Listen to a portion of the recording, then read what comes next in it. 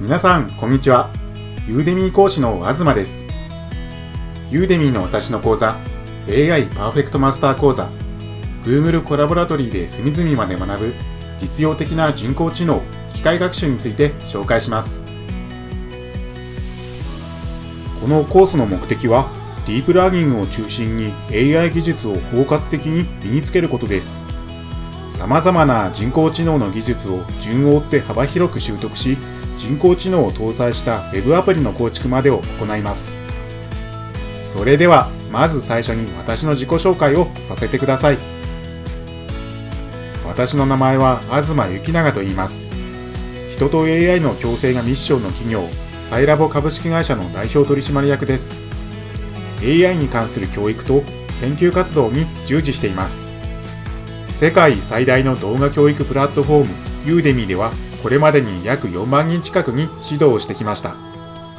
著書にはディープラーニングをゼロから解説する初めてのディープラーニング、初めてのディープラーニング2や、機械学習向けの数学を解説する新しい数学の教科書などがあります。それでは次に、このコースの内容を見ていきましょう。継承元のクラス、 Calc のメソッドと継承先のクラスのメソッド、 subtract と divide がそれぞれ呼び出すことができます。それでは出力層の勾配を求めていきます。